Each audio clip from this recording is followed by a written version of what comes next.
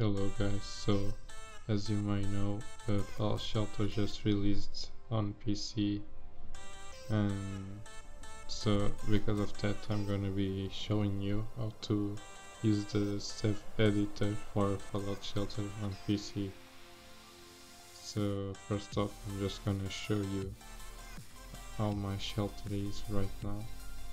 This is all like legit my my legit work but it's not fun to play legit because we want to open them crates so that's what we're gonna do. So now I'm just like showing you that what I've got like on the legit way. I got pretty lucky on this vault. Uh, I'm gonna show you that I only have uh, three crates and they are the Mr. Handy crates, not uh, normal ones, where you can get guys and clothes and weapons.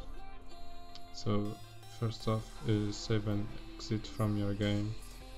Next up you're gonna click the link in the, in the description uh, to this online save editor.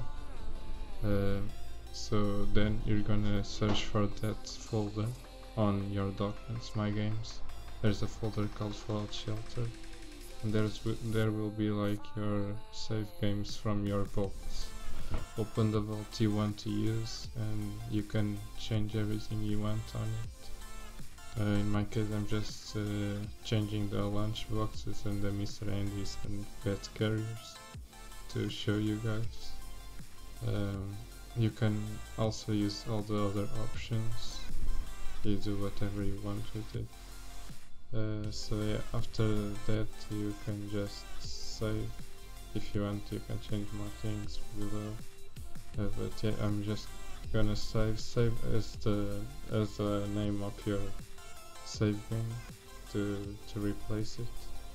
And next up we will be launching Fallout Shelter again. This time with a modified save.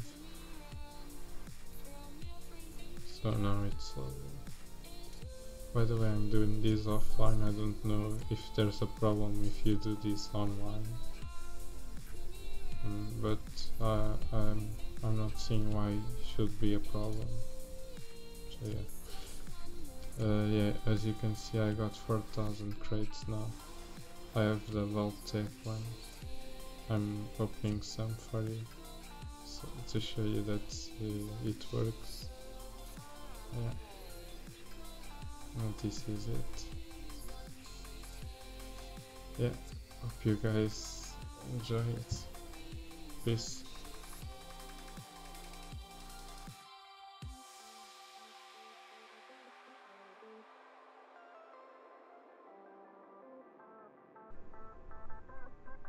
Uh, by the way guys, if you want to change your dweller stats, there's a tab on the top on the save editor that says dwellers you can select uh, you need to do each one of them but you there's a button down below saying max stats. You can click that and your dweller gets max stats.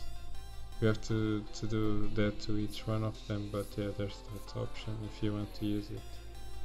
And that's it guys. Uh,